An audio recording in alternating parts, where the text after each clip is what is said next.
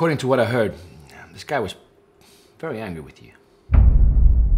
He had some priors, public disturbances, grand theft auto, drugs, racketeering, I mean, you name it. This guy had a temper, all right. He also raped a girl.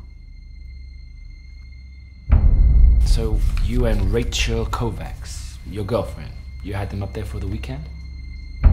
So what, you, you, you had dinner? You stayed in with Miss Matthews and Miss Kovacs? And then what happened, Mr. Daniels?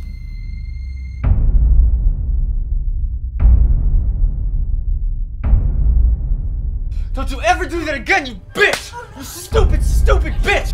Now let's get one thing straight, Tommy, alright? This is between me and King. Got it? Let him go now. You just shut the fuck up!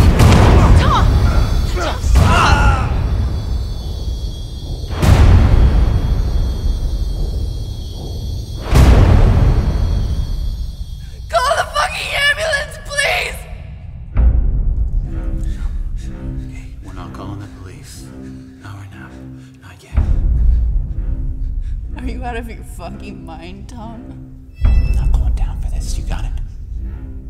I was trying to help you, and we all know how that works. We all know how this fucked up system protects the innocent, don't we?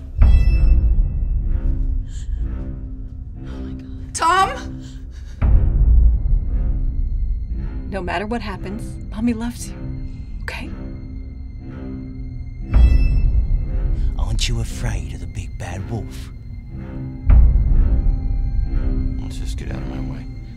Think so. It's done?